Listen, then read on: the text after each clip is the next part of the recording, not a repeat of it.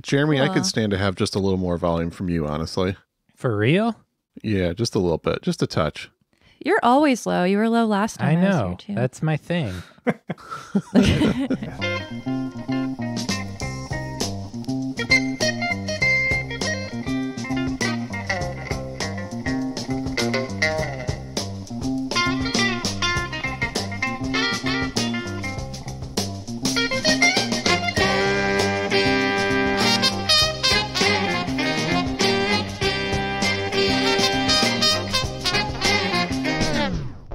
Welcome to I'd Buy That for a Dollar, a podcast about inexpensive, common, and underappreciated records that are waiting to be rediscovered. I'm your host, Sean Hartman, certified grit grinder.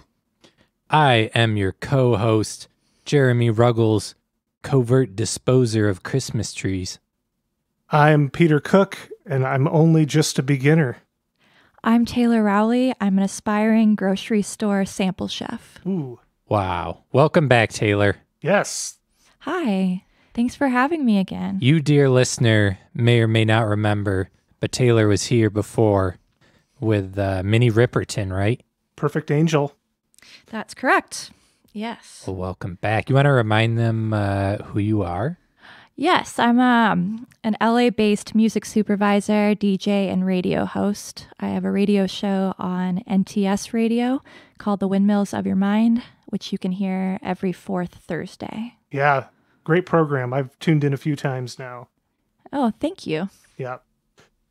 And uh, I mostly um, I play all kinds of music, I think, but I tend to play a lot of female singers, which maybe which is kind of why I've talked about Minnie Riperton and now Karen Carpenter Yeah. on this. So sorry, did I interrupt? Did I, Oh, did I no, I, ruin the intro? my well, my uh, my title was a little bit of a teaser.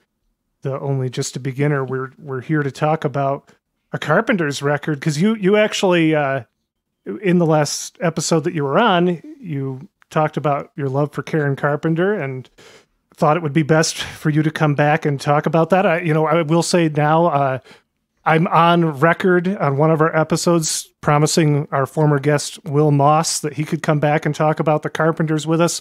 There's still plenty of opportunity, Will, because there's a lot of cheap Carpenters records out there. so Oh yeah, I mean, I think I said last time on the Minnie Riperton episode that the Carpenters are like the thrift store band to end all thrift store bands. You can find "Close to You" and what fans call the Tan album, which is just their self-titled record, but um, you can find that always for a dollar at a thrift store. Except Christmas Portrait, apparently their Christmas album, which is goes for a lot of money. It does. Everyone's got to have those Christmas jams. Does Christmas with the Carpenters also go for a lot of money? Yeah, they both do. Dang. oh, they have multiple. That's so weird. Yeah, they had the, the first Christmas record in 78, Christmas Portrait, and then they followed up in 84 with an old fashioned Christmas. Okay, so So that's a posthumous release Okay. then. yeah, okay, Well, not to get too far ahead of ourselves. We're, we're yeah. So we're we're here today to talk about Carpenter's "Close to You," which was released on A and M. That was their second studio album, August nineteenth, nineteen seventy. It peaked at number two on the U.S. Billboard albums charts, due in no small part to two big hit songs that appear on this record. And we're going to start with the opening cut, side one, track one. We've only just begun.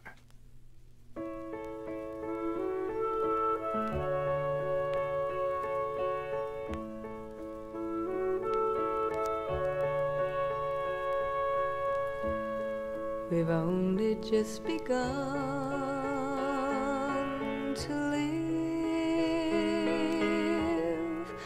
White lace and promises.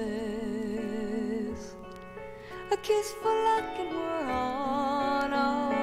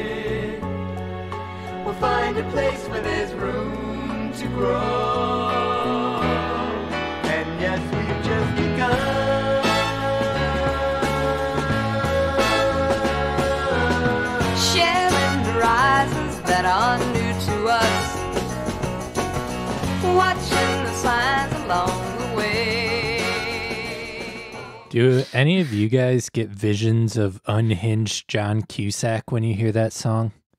Is that just me? Unhinged John Cusack. Yeah. Um, what's that a reference to? Uh 1408, I think the movie's called. Oh, Oh yeah, that's right. That's what I think of immediately when I hear that song. And I think it captures that uh I mean, I'm sure they used it partially because there's that dark edge to her voice.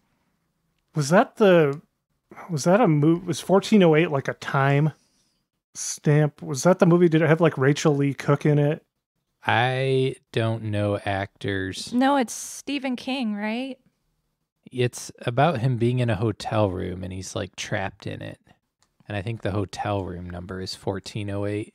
Oh no, yeah, the one I'm thinking of had Patrick Swayze in it. Different movie. Oh yeah, that's definitely not. I uncanned a very bad reference, guys. I'm sorry. That just derailed everything. I don't think it's a bad reference at all. But um, It just happened to be a reference that none of your other co-hosts picked up on. Not John Cusack fans here, eh? yeah, well, I'm sure they're out there somewhere. I'm sure every other one of our listeners picked up on it immediately. It was like, yes, that's perfect. Hey, I like say anything high fidelity, Grosse Pointe Blank, You like his early work. the grifters. Yeah, yeah. it's pre two thousands work. I'm not. I'm not too proud to admit that I I rewatched Serendipity yesterday. So Hell yeah. Oh wow. who's the bigger uh who's the bigger John Cusack fan now? I think you win. You win. I surrender. I'm in the dregs of Christmas movies right now. I'm saving all the good ones for later. So I've been watching really bad or just like, you know, B and C list Christmas movies lately. Yeah, we we've been doing the same thing over here. We just I watched the Santa Claus 2 for the first time. Like I was You know, I watched the I watched the trailer for that and I was like, I just can't. oh man, I But I did watch the first one. I was the perfect age when the first one came out, so there's like tons of nostalgia and it's very easy for me to look past the flaws, but my parents never took me to see the second one. And my daughter, who is Uh-huh. 7, is a big fan of the first one. So like, all right, Santa Claus 2, here we go. That was one of the worst movies I've ever seen. oh my god, it was so bad. I, I can almost and then there's a third and then there's a third one. I think I have to watch the third one this year just to see like, how deep it goes. Yeah. Like this, the second one was so bad that I would honestly recommend it just to like watch the train wreck. It's it's amazing. Well, the second one I think only takes place at the North Pole, right? From what I saw on the trailer. No, there's the point where he has to go back to the real world in order to uh, find a wife real quick. You know that old Santa Claus trope. Yeah. All right. I'm going to steer us away from this now. Okay. Unless we want to become Santa Claus Minute. I'm totally okay with that. That that would be No, it's all right. I get to be the one to inform you guys now that this episode's going to come out after Christmas, so you're going to seem especially crazy. we watch all the good Christmas movies in December, and then January is just that kind of Christmas hangover. Right. Uh, Carpenters. Okay. So going back to Carpenters. We've only just begun talking about the Carpenters. And that song was written by a songwriting team, Roger Nichols and Paul Williams, not Paul Williams from The Temptations. That was written as a jingle for a Crocker Bank commercial in 1970. And that version in the commercial was sung by Williams. And it was heard on TV by Mhm. Richard Carpenter. And he thought it sounded like it could be a, it sounded like Carpenter's material. And he, it turned out to be easy to get the rights to the song because Paul Williams was also writing for A&M at the time and it turned out there was as I understand it there was a full version of the song that Paul Williams had written and was able to give to him. And at that point in time the Carpenters needed another hit. The title track from this Close to You had been a, a single and you know it, it proved that the Carpenters were commercially viable but they needed a quick follow up and you know, Richard turned out to be really good at having an ear for songs that would work for the Carpenters sound. And, you know, he to this day calls this the band's signature song. I'd agree with that. That it's the signature song. Mm-hmm. Yeah, I would too, because it's for me for a long time before I really became an active, earnest Carpenters fan. It's probably the first song I would think of. Maybe that or Superstar would be the songs that I would associate with them first. Totally. Uh, I got into the Carpenters because I saw kind of it's it probably wasn't a Time Life compilation, but it was a kind of a Time Life style uh compilation commercial where they just show clips of the person performing and have the track listing like rolling up. You remember those? Yeah. From like late night Yeah. TV, like mail order CDs and stuff. Well, they had a carpet they had a Carpenters one and I remember only knowing snippets of their songs for so long just because of that commercial Mhm. But yeah, I always loved we we've only just begun because of that. And it's funny because um, I was reading today that Richard Carpenter he was an insomniac, so he and he was on they were on tour like constantly. So he would just spend a lot of time watching late night movies and stuff, and he would get a lot of his ideas from commercials and hearing like a snippet of a song in a in a movie, and then um and then covering it, Yeah. or you know, it would be an inspiration for another song. his story about goodbye to love which is not on this album but just the fact that he was watching a movie where there was like a fictional song called goodbye to love Yeah, Bing Crosby. yeah and it didn't you don't even hear this goodbye to love song in the movie but he just he liked that as a title and then wrote a song based on that Yeah, I know. Amazing. So I don't know. I felt kind of, I also have a little bit of insomnia. So I felt like a kinship with him from, um, you know, my memory of how I got into the car, my memory of how I got into the Carpenters, like watching, you know, a late night infomercial and then him do, you know, getting ideas from a commercial for songs. Mhm. yeah i'm a lifetime insomniac myself so i've spent a lot of late nights up with the tv and so i can relate so i was that was my next question for everyone and uh, you've kind of if you want to elaborate on that once i ask this feel free taylor but i was going to ask how everyone's background on it or knowledge of the carpenters i should say well, i'll just point this out that their name is actually carpenters officially. It's not the carpenters but i'm going to slip and say the carpenters i'm sure. It's like pixies are not the pixies. They're just pixies but Mhm. it seems they even call themselves the carpenters sometimes so that's okay yeah what so i guess i'll start i obviously know taylor that you're enthused on them what about uh sean So I've known for a long time that the Carpenters are a band that I should dig into ever since hearing Sonic's Youth Sonic Youth's cover of the Carpenters Superstar and thinking, okay, well if Sonic Youth is into it, then there's gotta be something else. And I just for some reason never dove into a record. And then uh, you mentioned Will Moss wanted to do a Carpenters record on the podcast at some point. I used to work with him in a record store, and he's a huge Carpenters fan and kept telling me, You got to listen to the Carpenters, you got to listen to them. And one day I was like, All right, play me some Carpenters, let's do it. And we didn't have any of the best Carpenters records at the time in the store. So we put on this like late period one. I don't remember which one it was. And I hated it. I was so annoyed with the music.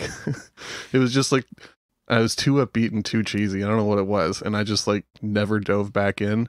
But since they've been mentioned a few more times on the podcast, I've listened to a few songs here and there and been like, okay, yeah, there there's some hits. I really enjoy this, and uh, I need to pick up some of their records next time I'm out digging in the dollar bins. Definitely. jeremy I am Jeremy, and being Sean's fictional brother, I have almost the exact same story. yeah Yeah, the Carpenters are just, I mean, I'd heard them. They're in the air, they're everywhere still. But uh, not until I heard the Sonic Youth cover of Superstar was I like, oh, that's a really good song. That's where it started for me as Mhm. well. And I'm sure a lot of the, you know, more modern people who are getting into the Carpenters, it's probably, it was a whole compilation that that song was from of grunge era, no wave Yeah. artists. I remember that from my college radio days, Yeah, having that calm the uh, the Cranberries cover on that compilation is also really Right. good.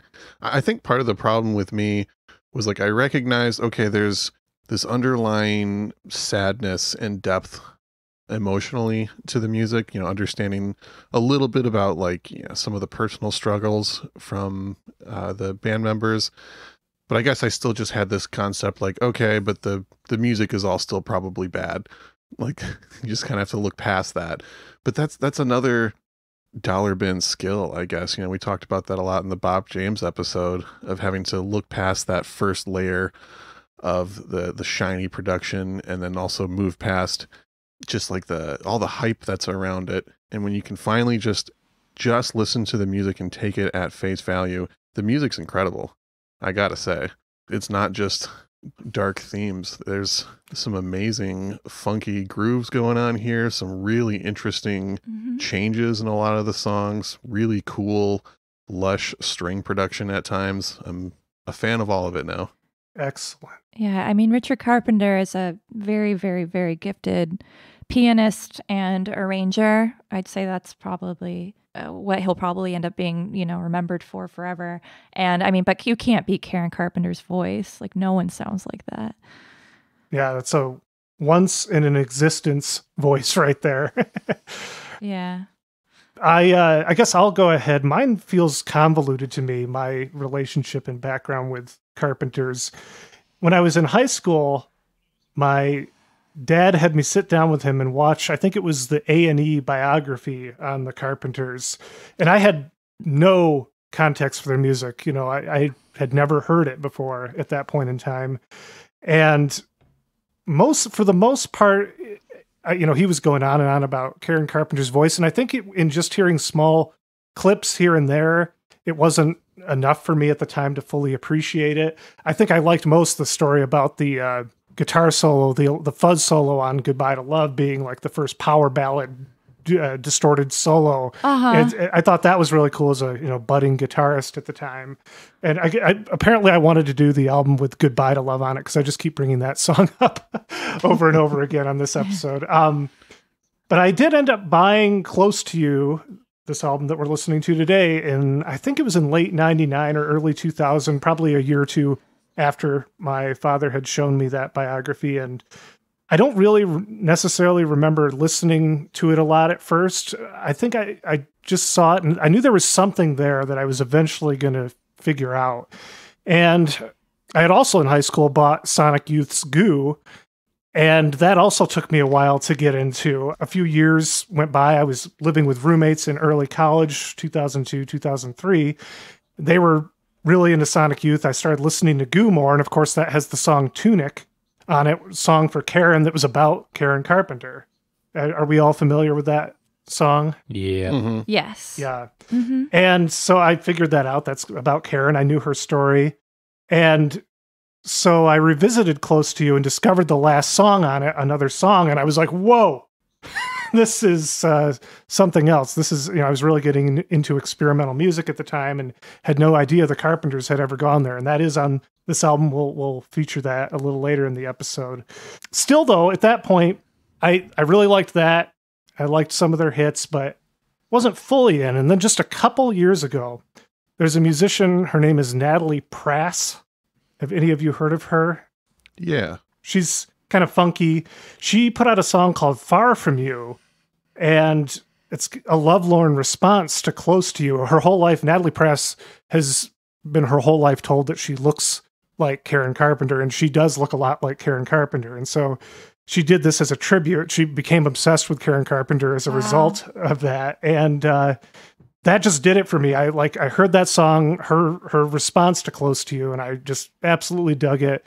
And the last year or two, I've been like full on Carpenter's Renaissance, and that is why I was really stoked on uh, when Taylor, when you brought up being a big Carpenters fan. I'm like, well, let's do this.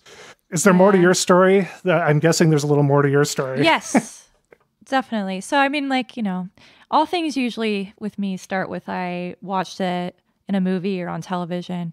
Maybe that's why I, I do music supervision now. But uh, yeah, I think I had a fascination with them, kind of akin to, I guess, Kim Gordon's. Um, I always love like 1970s, what I would call like dark suburbia or dark Americana, like sort of um, Nixon youth, you know, uh, stuff like that.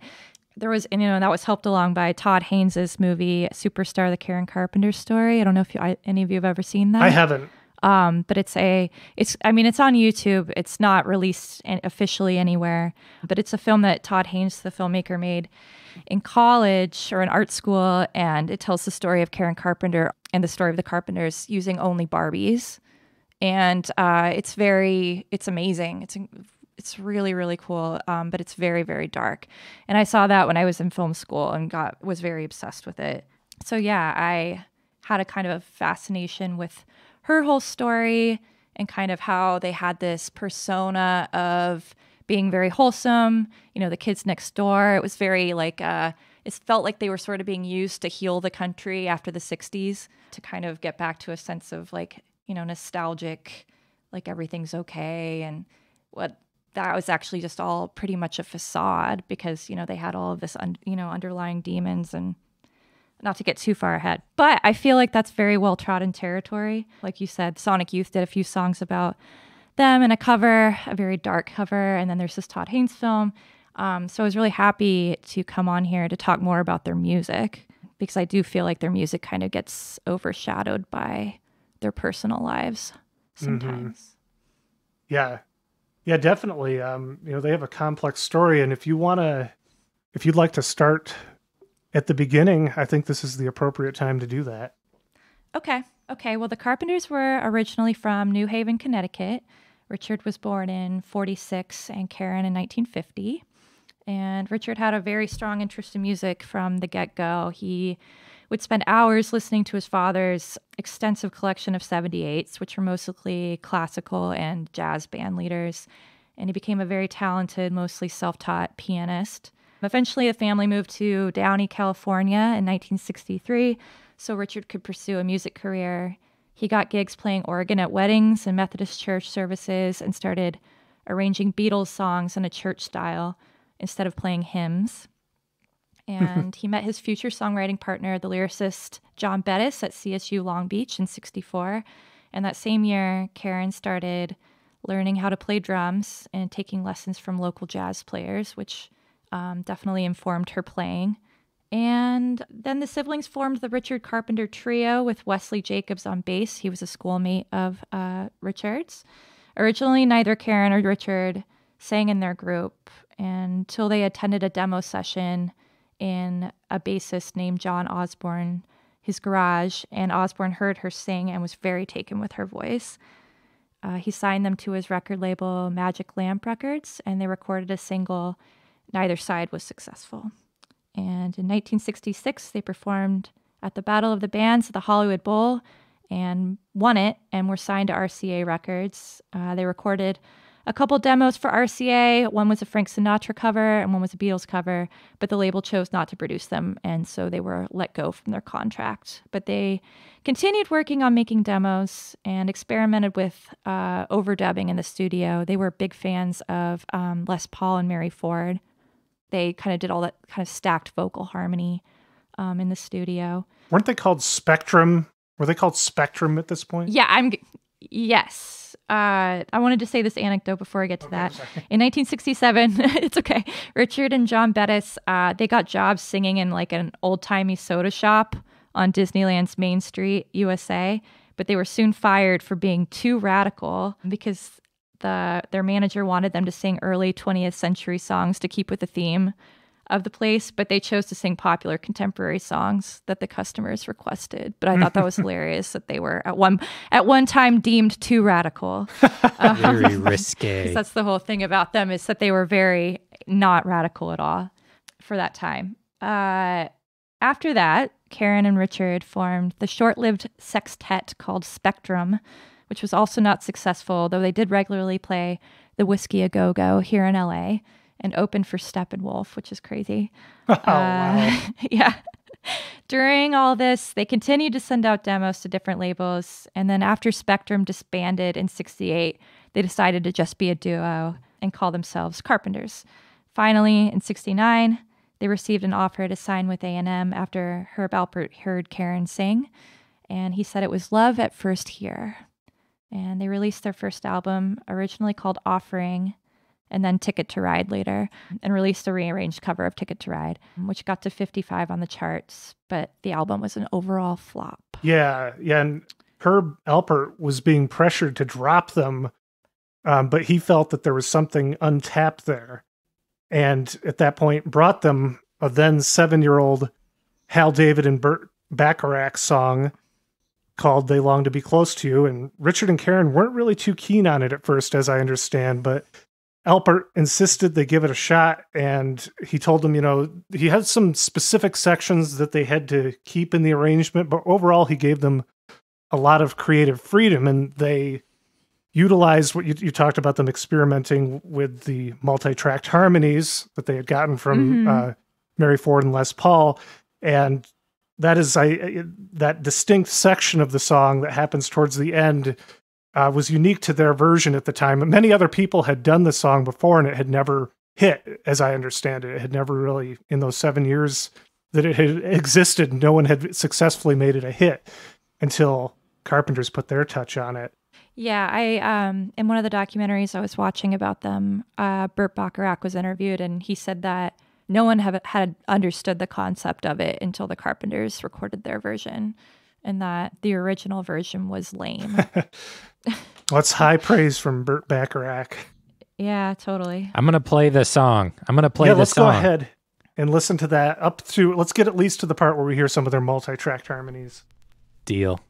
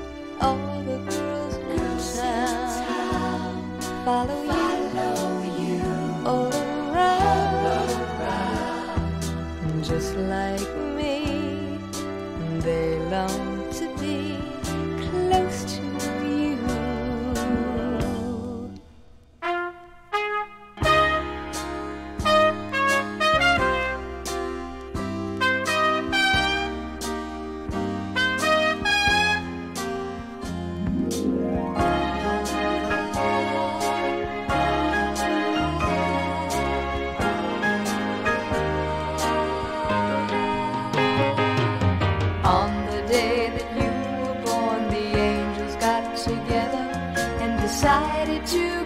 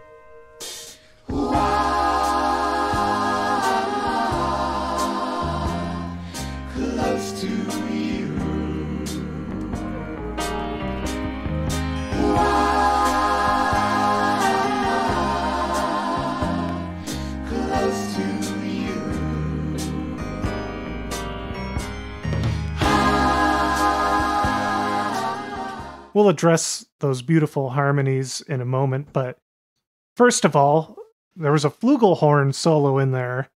And apparently, Richard, Love a good flugelhorn solo. so it can make or break a song, right? I had thought it was a trumpet, uh, but apparently it's a flugelhorn supplied by a guy named Chuck Findley. And I guess Richard had tried to imagine how Herb Alpert would play a part written by Burt Bacharach. Yeah, when he wrote that, that was how he imagined it, which makes sense with what you hear. But come time to record, Herb Alpert was unavailable. And so he was out on tour or something. So Chuck Findley came in and played it. But everyone, when the song was released, everyone thought that it was Herb Alpert, including Burt Bacharach. Oh, that's funny. yeah. So, little anecdote about that uh, solo in there, which it is perfect and it does sound like a Herb Alpert thing. Well, the Carpenters, they were so good in the studio that they could t- get something in one take a lot of the time. Um, but with this song, they were having trouble recording it, from what I read.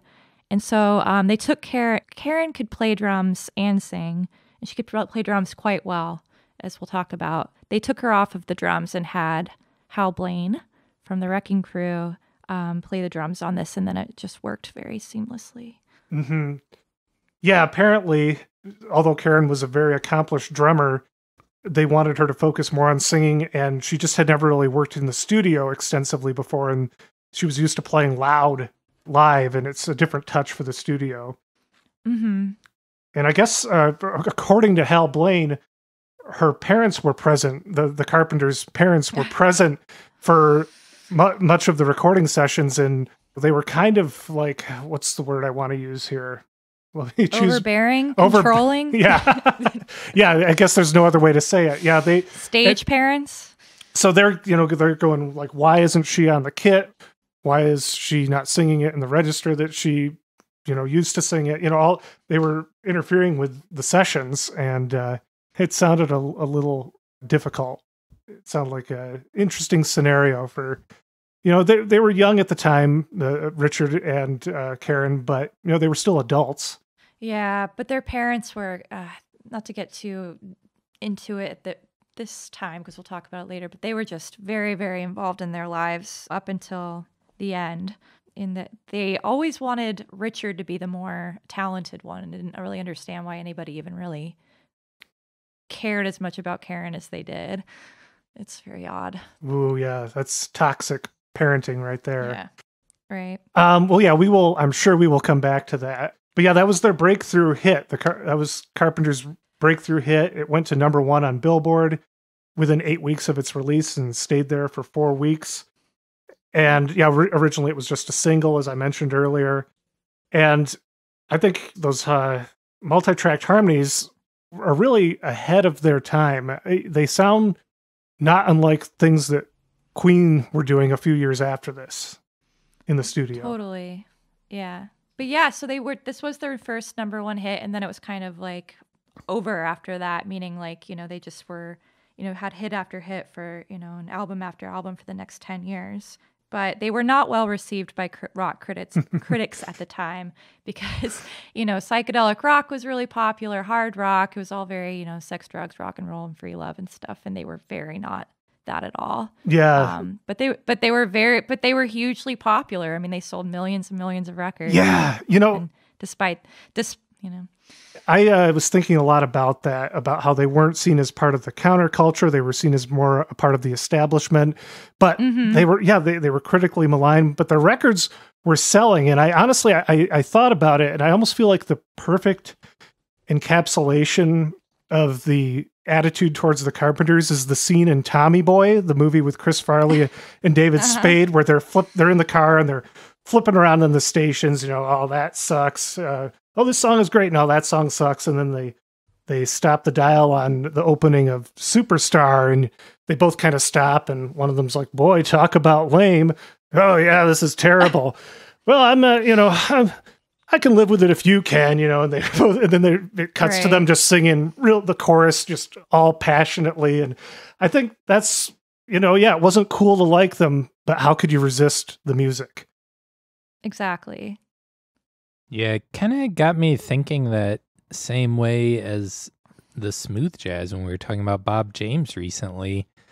They were kind of zigging when everything else was zagging. They leaned into being sugar sweet, clean image when the Vogue thing was crazy rock and roll. And I think that, you know, a lot of people really responded to that. Because as I said, you know, this album came out in 70. There was a lot of turmoil in the country. And I think people are really looking, a lot of the country was really looking for some, you know, return to a more Law and order. 1950s, I'd say, law and order. yeah, sure. You know, um, you know, and there was that, that really, uh, the Carpenters really nailed that. Yeah, absolutely. Do you want to? Uh, yeah, do we want to kind of? You, you mentioned that it was hit after hit. Do we want to kind of reveal some of their story after this? Sure. They this was Close to You, their second album. Between uh, after Close to You, they recorded eight more albums and they toured extensively, like constantly for those 10 years. I think they read they were doing up to like 180 dates a year. And so they had many hits. There's like Top of the World, there's Superstar, Yesterday Once More. Top of the world. I know I love that song. and um compounding all of their touring, they were just workaholics. They in the se- late 70s, starting in 76, they did a series of uh, television specials which even made their popularity even only increase. Yeah, And they kind of poked fun. They kind of poked fun of, of themselves too about their image on these television specials. They're re- they're really funny, but there's this one that if you guys haven't seen, you should. Um, it's their first one, but Karen Carpenter, I think she plays on like 15 drum kits. They're all set up on different platforms, Mhm. and it's just so amazing to watch. Um, I think if you search "strike up the band" Karen Carpenter, or just Karen Carpenter drums or something on YouTube, you can find it. It's just unbelievable. Yeah, I've I've had that autoplay after watching other YouTube videos and was highly impressed. That's that was definitely one of the points of me being like, okay, yeah, there's there's definitely a lot here to dig into. This is cool. yeah, she can drum with the best of them. For sure. I read that in like a 1975 like poll or something in a magazine. I don't think it was Rolling Stone, but she uh, beat John Bonham for a best rock drummer. Nice. So yeah, so they were, you know, they were touring constantly, const, you know, constantly in the studio, um, and then there were all these television specials, and then uh, it's in around '78. I mean, things started to fall apart. Richard uh, Carpenter, as I mentioned, had insom- was crippled with insomnia. And um, between that, the insomnia and just the exhaustion of being a workaholic, he got addicted to Quaaludes. And he had to go into rehab for a while. And so during that time, Karen Carpenter released her first solo record by herself. He was not involved in that. Um, and she was really pleased with it. It was more of a disco album, but he was not happy with it. And neither were her parents or their parents. So um, she kind of abandoned it, um, her solo career or that style. And they ended up getting back together. It wasn't released until the '90s, right? That solo album. that was recorded, but never. The first one, yeah, she shelved it. So then when R- Richard got back or got out of rehab, then they started resuming recording again. Yeah, and so then Richard was not obviously the only one afflicted with the pressures of being on the road and the pressures of fame and the pressures really of both of them having to be perfect. Like again, this wholesome, perfect image that they, you know, have been kind of put upon them. I don't know if they necessarily like ever really embraced that. It was just sort of who they were but they were, you know, it was very difficult to live up to. And Karen Carpenter, you know, very sadly had was afflicted with um, anorexia, which people didn't really know about during that time. And then she passed away in 1983 from that. Yeah, and I saw that she was actually getting better leading up to that, but her body was just wrecked. Yeah, she did she did go into um, a facility for it. She had to go back east. So at the time, there was really there was only a couple doctors in the entire U.S. that were, you know, specialists in eating disorders or ha- had any understanding of what it was. Um, so she had to go into a facility um, on the East Coast, and she did gain weight, which she maintained for the rest of her life. But um, she just succumbed to it um, in 1983. Yeah, I think it was officially heart failure. Yes, yes, it was. And her death really was kind of uh, the first time that anorexia became part of a the national conversation or the awareness of it was made much greater. Yeah, I remember that being like one of the first things I heard about the Carpenters was the the anorexia side of it. Yeah, exactly. It's interesting because I was thinking she pa- she was only 32 when she passed away. And I was thinking about how I was on here last time talking about Minnie Riperton who also passed at 32 Yeah. and she had a and she died of her, you know, of a disease that people weren't talking about either, which was breast cancer. They both had um, their lives were cut too short by these sort of female illnesses. You know, predominantly, you know, with eating disorder, it's female. Um, these female female illnesses that no one was really talking about, whether it was you know taboo or just not discussed. Um, but yeah, they both yeah thirty. They were both died at thirty two. Isn't that crazy? yeah. Yeah. Tragic. Yeah. I think honestly, when I watched that biography with my father when I was a teenager, I I found that part of the story just really sad, and I don't know why that if if that sometimes people are drawn to tragedy as part of an artist's story, and sometimes not. Right. And in that case, I was not. It was. Re- I just found it really sad, and just to think that anytime the people have to kind of almost be the trailblazer for people talking about something more, but they, you know, they unfortunately succumb to it themselves. It's just really Yeah. sad.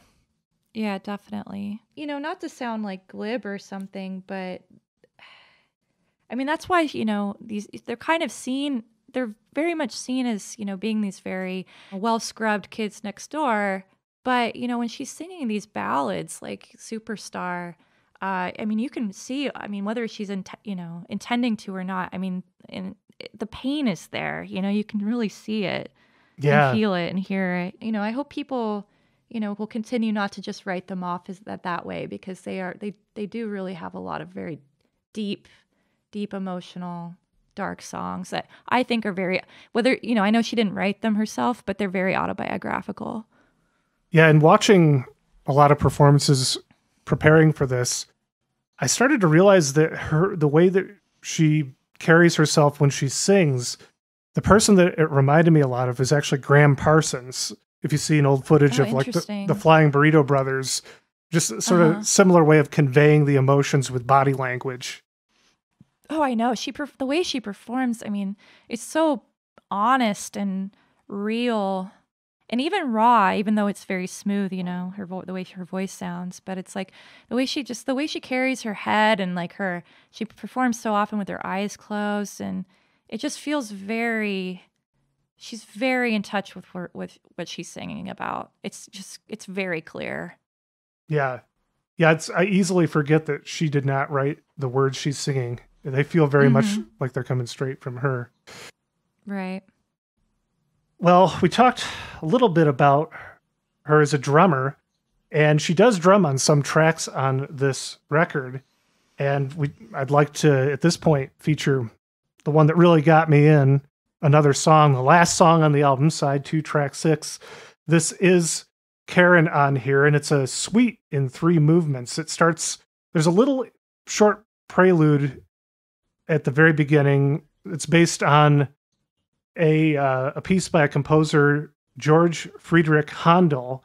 It's his uh, Messiah from 1741, and this part, the part that it's based on, is called "And Lo, the Angel of the Lord Came Upon Them." So we'll hear that. Then there's a pop song section, a brief Baroque instrumental section, and then an extended jazz instrumental section, and we'll at least get a little bit into the jazz part in this clip. It's quite the adventure.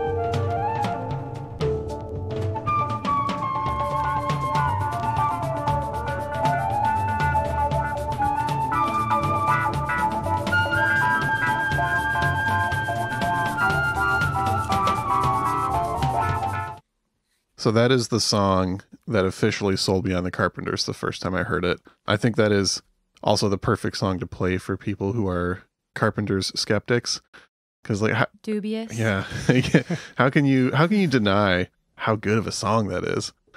It's just man, I've I've talked plenty of times on the podcast about how much I love it when songs take unexpected shifts and hmm that's just the perfect example of it right there. I know. It's un- it's uh it's surprisingly heavy for being them. Yeah, definitely. And far out. Definitely. I also put that song on the playlist for the Buzzy Linhart episode that we did a few weeks Mhm. ago. Another guy that was really good at having jazz inspired pop songs that took unexpected shifts. Yeah, that one is the only song that we're featuring today that was written by Richard Carpenter on this album. Um, he wrote several, and it was done in collaboration with the lyricist that Taylor mentioned, John Bettis. And I looked a little bit into what else John Bettis is known for. And for me, the biggest one that came up in my research was a about a decade after this album, he was tapped by someone named Quincy Jones to write lyrics for a little song called Human Nature from a little album called Thriller. Ooh, Wow. okay. Yeah, and he did he did a lot of other work. He wrote stuff for Madonna. He so I think that this was kind of his start with working with the Carpenters, but he went on to a quite the career as a lyricist. And I was going to talk, kind of run through some of the other people involved with this album. Uh, first of all, I will say that all the vocals you hear are Karen and Richard Carpenter. There's no one else singing, so they were doing Mhm. a lot of multi-tracking in the studio and Richard is on the keyboards, but he's also the arranger and the producer. Even though it says produced by Jack Daugherty, it's mainly it's Richard who's doing it. Jack Dougherty, Karen and Richard saw him as more of an A and R man who booked musicians and studio time, and it seems that Richard was a little salty that Jack Daugherty would frequently get credit as being the studio genius when it was mostly his engineering and skills that were forming the sound. He, he Mhm. Jack Daugherty was not a sound architect by any means. He might approve the arrangements and whatnot or have a little input. One funny thing that I came across in just researching Richard Carpenter was that he said that his musical style is informed by the three B's the Beatles, the Beach Boys, and Burt Bacharach. And uh, that, I mean, you can see all of that in there. yeah. Yeah, he, he knows 100%. he knows himself, apparently. Karen is drumming on about half the songs, and as we mentioned, the other half are Hal Blaine.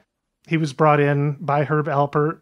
He had played on all of the Tijuana brass hits, and he was part of the Wrecking Crew, of course, if you're not familiar with the Wrecking Crew, they were a loose collective of session players based in Los Angeles. And uh, Hal Blaine is known for playing on a lot of legendary, huge hits by Frank Sinatra and Nancy Sinatra, the Beach Boys, Simon and Garfunkel, the Ronettes, John Denver. And on bass on this is another member of the Wrecking Crew. And uh, Taylor mentioned him earlier. The Carpenters had cut some early demos in his home studio, Joe Osborn. Yeah, John Is, Osborne, right? is it, is it John Osborne? John or Joe? Let's double check here. Just not. Yeah. Um, Joseph Yeah. Osborne. it's not Joan Osborne. Yeah, it's not Joan Osborne. what if what if God was one of us? and so when I think when most people think of the Wrecking Crew bassist, they think of Carol Kaye. That's the first one I think of. hmm But you have to remember that the Wrecking Crew had to have multiple people on every instrument because they were tracking day in, day out. So uh, Osborn's on a lot of the same tracks as Hal Blaine, the, a lot of those same legendary cuts. One album that came up that both of them played on that I think we need to do on the podcast in the future, and Taylor, maybe you'll want to come back for this one, is Richard Harris's A Tramp Shining. Love it. that has the MacArthur Park on it. yeah, I love that's. I mean, Jimmy Webb is like my favorite lyricist of all time. So, yeah, I would definitely come back on. And yeah, and I, I love MacArthur Park. yeah. that's a, and that's one that you can find for cheap. That at least here in the the Midwest, I don't know in Los Angeles. oh yeah, I got my copy at a thrift store. Okay, yeah. Well, Yeah, stay tuned for a future episode where Taylor comes back and yeah. and talks about that. One of my old screen names was Sweet Green Icing. Oh, really? Arthur Park. Yeah. Love it. We also have Dan Woodhams credited on bass. He had been in Spectrum that we mentioned earlier with Ri- Richard and Karen.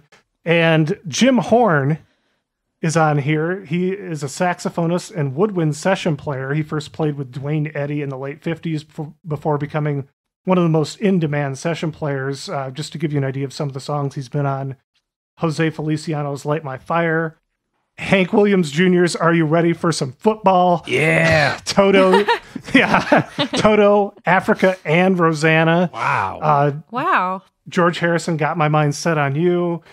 He's on the Stones' Goat's Head Soup, Van Dyke Parks' Song Cycle, and Warren Zevon's Excitable Boy. Oh, he's on all three of those albums. That's just scratching Amazing. the surface. Other credits uh, for woodwinds are Bob Messenger and Doug Strawn. They were part of the Carpenters live band. And of course, I mentioned Chuck Findley on the flugelhorn solo on Close to You. He's also credited, I think, as trumpet. And he had uh, he was a regular collaborator of Steely Dan and BB King, and was a member of the band on the Tonight Show with Jay Leno from 1994 to 2001. So, yeah, the players on this have uh, made the rounds. Uh, there's violins and violas and cellos and harps also credited. There's a lot of players, and I didn't didn't have time to dig into all of their backgrounds. One funny one that ties further into Taylor, you being here for this episode and your previous album that you uh, were on for is uh, Dick Bogert, one of the engineers, was the person who remixed Minnie Riperton's Perfect Angel for quadraphonic sound. Oh, So that, can- that makes sense. yeah, so it all ties together. That's why that's why you're here for this one too. Yeah. but that's all I had on the players. I could have gone deeper, but I, I think that just gives an indication of uh, how involved these players were and uh, why this record sounds the way it does. Well, they obviously all knew they were, you know, that this this was going to be something special, you know, um, and it was. Yeah. I did want to say one thing about "Goodbye to Love." Do you remember the guitarist play like name on that? I can't remember right. now. Tony starts with a P. Hello? Tony Peluso. Oh, Peluso. Okay. He. I wanted to bring it back to another song and tie those two songs together because, um, as I was saying, that that drum, you know, that last third of another song is pretty heavy for what I, you know, what from them, and in "Goodbye to Love," when Tony was tapped to play the guitar solo, he was kind of holding back because he himself thought, oh, like, you know, I want to play in a Carpenter style. So he was kind of playing very gently. And like Richard was basically like, no, let it shred. And um, he wanted it to he wanted it to be heavier than than it was, if that makes sense. Yeah. So they weren't just total they weren't completely committed to just playing these sort of soft rock songs, you know? And what's so funny to me about that, about the fuzz guitar solo and Goodbye to Love, is that Carpenter's fans wrote them hate mail after that because they said that they had sold out. And I love that they thought, you know, this, you know, I love that, I love that this was what, made them sell out was a fuzz guitar solo, which was, you know, Yeah. Purists. yeah, that yeah. well that's you know the level of perfectionism that they that both richard and karen held themselves to was actually pretty remarkable uh, i mean to a degree that maybe it was unhealthy for them and and i guess i saw Yeah. there was something that karen actually was known for if any of the hired guns messed up live she would give them like the stern eye Oh, bringing out, bringing out her inner James Brown. yeah yeah yeah yeah i don't think she actually fined them or anything but uh Yeah. but yeah, you know, like I, I, you know, they were very hardworking, and yeah, like probably to a fault, it probably ended up taking its toll on both of their health. Yeah, definitely. Because they were not partiers, you know, they were just workaholics. hmm So, you know, Yeah, I feel like that that stuff's all interrelated to how their parents treated them in particular. It sounds like the mother was very withholding of affection and then they're trying to, you know, be perfect to get that affection and attention that human beings need and got caught in that cycle forever until they're both wrecked from it. It seemed like Yeah, yeah, no, exactly. And the, con- uh, it was the, yeah, it was the expectation to be perfect and the control that they exerted over them.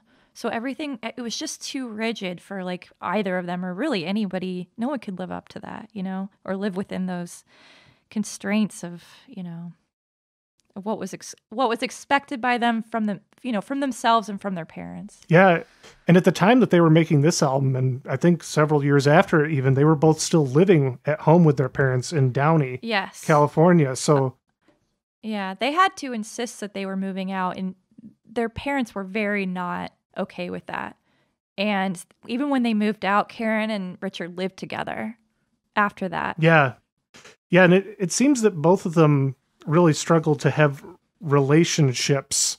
You know, like uh, like uh, Karen did get married uh, briefly, Briefly, yeah. and it it w- didn't work out. I, and I, uh, Richard did too eventually. Correct?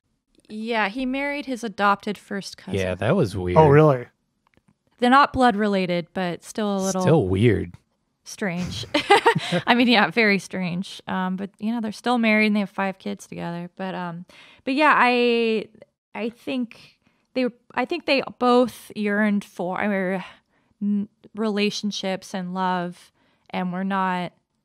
They weren't because of their dem- extremely demanding work schedule and their work ethic. They were they went without it for so many years, and um, it came out in their work, you know, in their lyrics. Even if you know they didn't write them it's still they're still autobiographical you know? Hmm Yeah. Well, it, it seems that, uh, yeah, like we said, Richard curated music that was in their spirit. exactly. Hmm you know just a lot of loneliness a lot of wistfulness and yearning and sadness. But then also you know they they can can do complete opposite of that and you know have songs of just you know they're so purely joyful like top of the world is a very purely joyful song they, they performed like on set you know sing you know from sesame street that's another you know song that they did Well, Sean, were you able to find uh, adequate similar artists and songs Oh, I for got our Spotify playlist. I got plenties, and uh, a lot of artists that we've covered on the show before. I feel like have some similarities. Taylor, you had two uh, suggested songs that I put on the playlist. You want to talk about those real quick? i did Or did Peter suggest them? Or I thought I- I, thought you were passing think- on Taylor's suggestions. Did I get that confused? No, but I I think Taylor will agree with these. The two songs that I suggested for this playlist were Judee Sill, Lady O, and the I road. love it. yeah, I know you're a Judee Sill fan, correct? Mm-hmm. I know- Yeah, definitely. Probably Yet another, yet another female li- artist whose life was cut too short. Yeah. Yeah, similar age too. I think she was maybe 35 when Yeah. she passed. Um, I've only been aware of her for about four or five years, but it has been a more beautiful four or five years since I've been aware of her music. Yeah. Really fascinating individual. Unfortunately, not a dollar record artist by any means. You're not gonna, Mm-mm. you're, but you can pick up uh, reissues for for a decent price. Also, the other song was the Roaches Hammond song. Was the other uh, one I suggested? Yeah. Definitely. And they're siblings too. So that makes that's perfect. Yeah, harmonizing siblings. Yeah. I think almost I was thinking about I you know, honestly, I think the Carpenters are probably my favorite band other than the Bee Gees. And both of those are Siblings. both of them are sibling groups. Yeah. and um I don't know where that comes from. I mean, there's something about siblings go, like singing together. Blood harmony. You know, because yeah, exactly. Um, but I think maybe it stems from. I mean, my my first favorite movie when I was very very little was Sound of Music, which is all about you know s- s- siblings singing together. So maybe that's where it comes from. But, um, All makes Uh-huh. sense.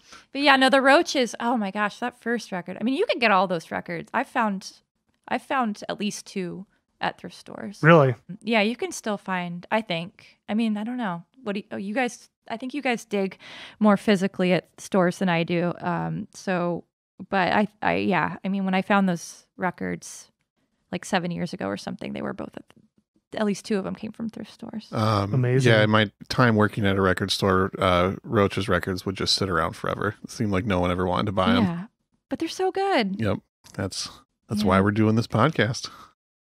Yeah, Suzzy Roach. no, not Suzzy, Maggie Roach. She had a very strange register, but it's so it's very almost like baritone, but it's it's beautiful. Yeah. Uh, I guess like I would add to that playlist. Carole King "So Far Away" to that because it, I think it, it kind of is in the spirit of a lot of the ballads that Karen sang, and also I, you can still find Tapestry at a record store for a dollar. So and all of the song and all of the songs, you know, on Carole King's album. I mean, everybody knows all those songs, but they're still really great, even though they're kind of ubiquitous, you know. so believe it or not, I'd actually put "So Far Away" on the playlist already. Oh wow, there you go. There, there you go. Beautiful. cool. I didn't fuck that one up. All right. Uh, a couple other artists uh, featured on the playlist uh, Roberta Flack, Jimmie Spheeris, Bread, uh, Leo Sayer, Minnie Riperton, Carole King, like we said, Joan Armatrading, Tammy Wynette, Laura Nyro. Uh, I did Mm, love this playlist. Thank you. Patti LaBelle and the Bluebells. I did put the Sonic Youth Superstar cover on there.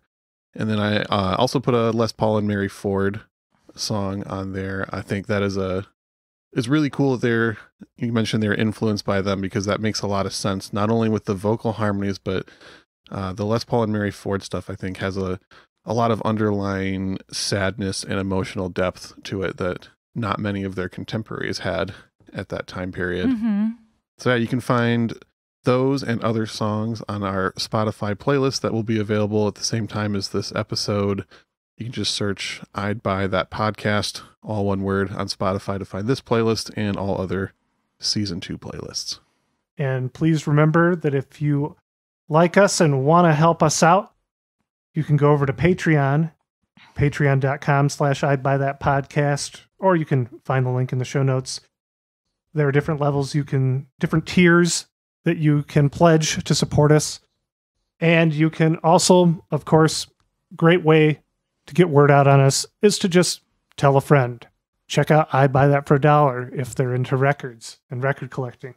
And do we have any uh, closing thoughts on Carpenters or anything we've talked about? I would encourage everybody to check out a that Todd Haynes film that I recommend or was speaking about earlier in the show. Um, it's called Superstar: The Karen Carpenter Story, and it's a short. It's uh, not more than an hour, and you should be able to find it on YouTube. All right. And actually, there's a there's a TV movie I like from 1989 that's surprisingly good. That's called just the Karen. I think it's called Ca- the Karen Carpenter story or something like that. But it's actually pretty good. And then there's a book that's also really great called Why Karen Carpenter Matters.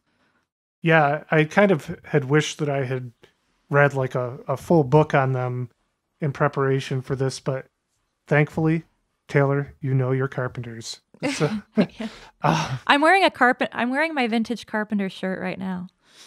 oh, you are in full character. Yeah. Um, do you have any uh, anything you'd like to plug aside from what you talked about up top? I know you you keep yourself busy with a number of projects that people can check out. Yeah. Um, I guess there's nothing too active going on right now. I mean, my radio show, I'll just plug that again. It's called um, The Windmills of Your Mind, and it's on NTS Radio. And it's every fourth Thursday from 1 p.m. to 2 p.m. Pacific Standard Time. But you can also find all of my archived radio shows on my web- website, windmillsofyourmind.org. And yeah, so check that out. And Yeah. actually, I wanted to thank you guys because I used to not do, I hadn't been recording air breaks on my radio show for since I left KXLU, which is college radio here in LA. But then once I had my microphone and everything set up from the Minnie Riperton episode, I was like, well, you know what? I'm going to start recording air breaks now. Oh So I all wow, set up. So yeah, so thanks. We've uh, changed the direction of windmills of your mind. Mm-hmm. Indeed. Nice. I'd buy that for a dollar. Makes a difference. Yes. so we were gonna we were gonna get out of here on the Tim Hardin song that they do on this album. They do do a number of well known songs. Uh, they do the Beatles' "Help," and they do uh, "Baby It's You," which I actually know that as a Beatles cover. The Beatles covered that song, but it's uh, not originally the Beatles. But they do that on here as well. "Baby It's You," "Help," and here's "Reason to Believe," the Tim Hardin song, which I the first version of this song that I remember was the Rod Stewart unplugged version from 1993 that was all over top 40 radio when I that's what around the time that I really started to tune into the radio and uh it took me years to realize that this was a Tim Hardin song and I've since heard a lot of versions of it and I would s- I will say that I think my favorite version isn't this one that that we hear on here. It's not the Carpenter's version. I think it's Karen Dalton. I think she's my favorite version, uh, and it's kind of Ah. almost like an incomplete afterthought version of the song. Is anyone else familiar with that one? Yeah, I yeah, definitely. And um I like both their takes on it. Dueling Karens, we'll call it. Yeah, yeah. So this this is a close second, I would say. Mhm. And yeah, it, it's funny. Yeah, the the two Yeah. Karens. I I love this version. I love the the piano at the beginning and uh, Richard sings on this one too and I just love her emotiveness. I think she really the lyrics the lyrics really clearly speak to her. It's, it's obvious when she sings it. So Yeah. Well, we will go out on that. Thank you so much for listening to I'd Buy That for a Dollar. My name is Peter Cook. I'm Jeremy Ruggles. I'm Sean Hartman. and I'm Taylor Rowley.